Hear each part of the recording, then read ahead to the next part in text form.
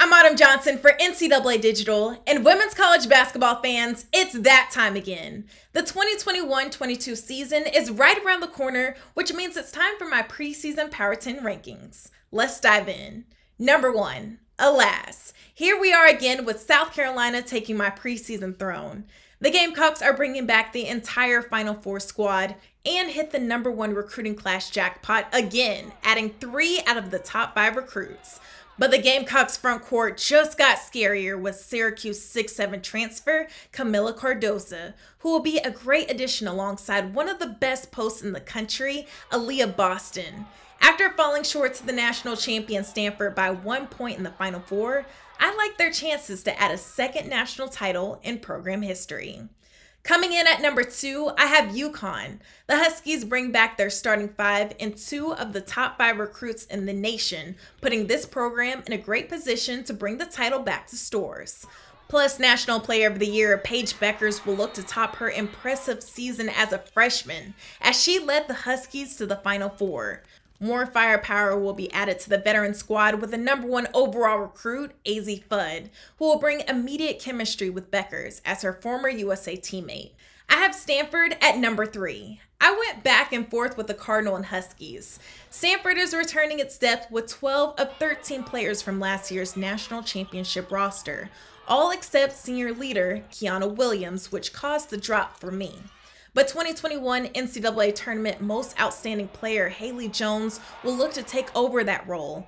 Anna Wilson also deciding to return for another year gives Stanford more leadership and a lockdown defender. Nevertheless, the defending national champs will enter the season with a target on its back. Maryland takes number four. The number one scoring offense in the nation will return its Sweet 16 core. Talk about double figure depth in six players.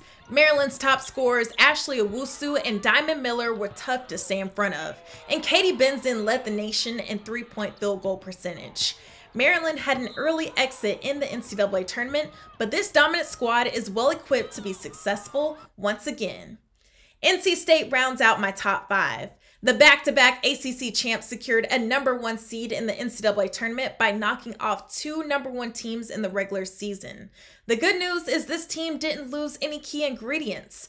NC State's go to star Elissa Cunane returns as a senior, giving the Wolfpack a strong inside and outside scoring threat. The Wolfpack had an unexpected ending in the Sweet 16, but I believe there will be no drop off. I have Louisville ranked at number six. The Cardinals lost their scoring threat Dana Evans and starter Elizabeth Balogun, but the roster is revamped with some elite scorers. Syracuse transfer Emily Engstler and Vanderbilt transfer Chelsie Hall. The future still looks bright with Louisville's remaining stars Kiana Smith, Hailey Van Lith, and Olivia Cochran. Oregon takes my number seven slot. Learning a new system won't be a focal point for Oregon, who had nine new Ducks last season. Te-Hina Paopao did a phenomenal job at point in her first year. Plus, Oregon will add USC transfer Endyia Rogers and top 30 recruit Taylor Bigby to the backcourt.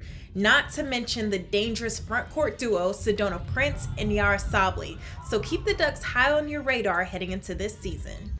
At number eight, Indiana breaks in my list for the first time. The Hoosiers made a lot of noise in the NCAA tournament, making a historic run to the Elite Eight by knocking off number one seed NC State. With Ali Patberg's decision to return, we can expect Indiana's balanced scoring attack and elite defense to not skip a beat.